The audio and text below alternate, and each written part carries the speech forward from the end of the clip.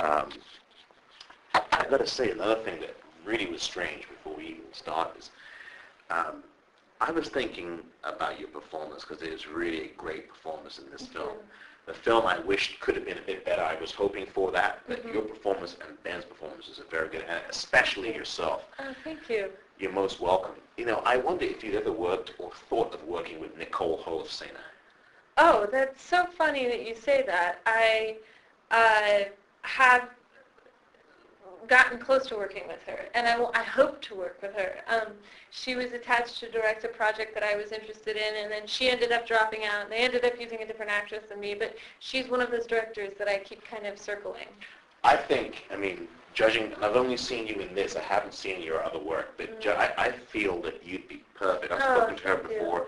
And I thought about this today, and this is another stranger than fiction story, Yeah. but this is really true. I thought about that, and I thought that I was going to tell you that, and my phone buzzes, and I check my phone. The email is from an agency here in San Francisco saying Nicole Holofcener is coming to town. No, I that's so not. weird. Isn't that weird? That is, but, I mean, those things are, yeah, she's, she's definitely a director that I would, you know, get, she's on my list. I have a list of directors I'd like to work with, and she's definitely on, on the list. Yeah, she's tremendous. And Noah's done great work in the Yeah, past yeah. as well. Yeah, And and your journey as Florence is is uh, wow, it's quite a journey. yes, Florence is a, Florence goes through quite a bit, but, um, she's, yeah, she's really s- special. I, I think, I think that's what, one of the things I, I loved about the movie was you don't people don't make movies about girls like her. Right. and I, I i think i felt really honored that i got to bring her to life because there are a lot of girls like her. And um i don't know she's simultaneously like a hundred girls i know and like her own individual soul. And i think um i think she's, it's really exciting to do something that feels um, that feels so true and so unnoticed. hmm hmm And it, and she definitely had a lot of depth to her. She had a lot of different things going on. She's Yeah. not some kind of template cardboard No, cutout that No. we are unfortunately accustomed to in a lot of I know. Hollywood type movies. Yeah, she's um, yeah, she's not. She's not.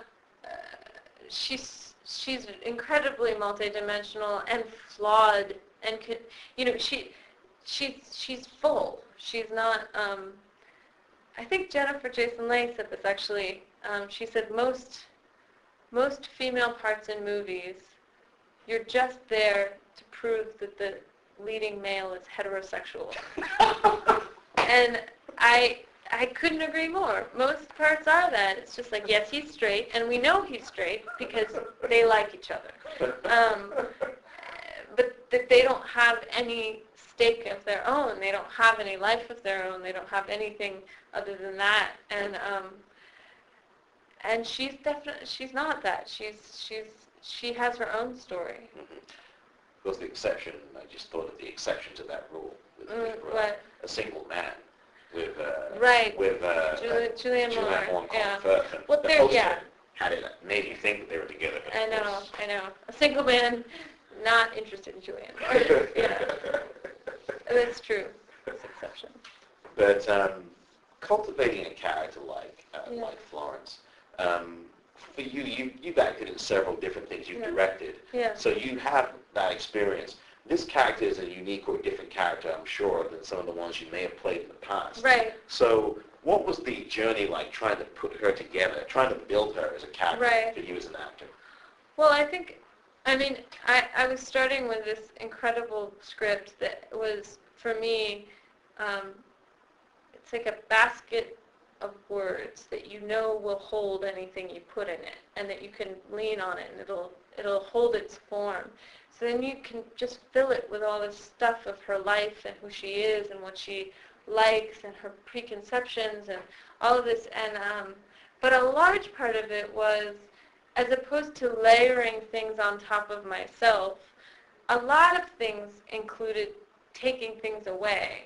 Because things that Greta has developed, certain barriers or defenses or ways I have of coping, Florence doesn't have.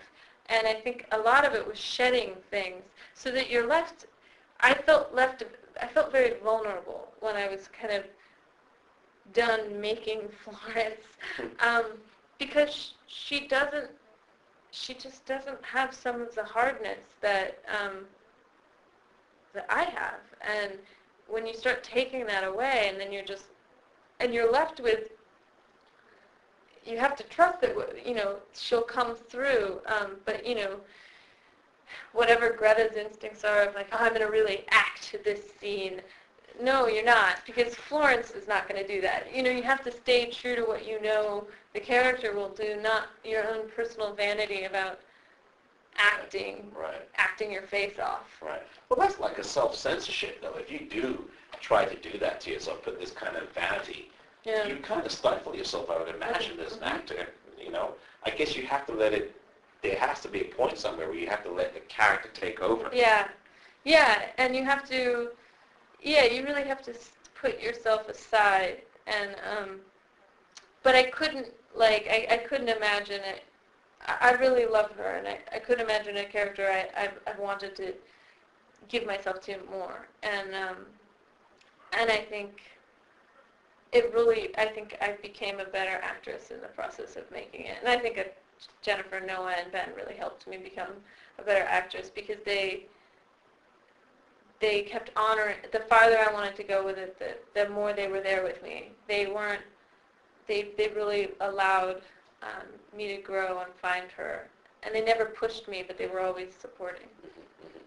I gotta, I gotta ask you this. uh, Sure. Because that's funny. I was a. This is another strange thing. I was at Musso and Frank's Oh my God. five days Yeah. before I saw this movie. No. Oh my God. And there I am, and I sit in the screening room. Musso With the breaks, I know, I know. Yeah, it's it's really funny. Musso and Frank's is um, it was really fun to shoot there actually, and the waiters are actually the waiters from The real waiters, Yeah. right? I recognized one of the people I saw. I bet you did. Uh, It, yeah, this is perfect. Yeah, it's a, it's a, it's a great, grand, historic place Yeah, for sure. It's definitely. A, a million and one stories have been told there for sure. I know. Um, so So if, if these walls could talk. Yeah, uh, exactly.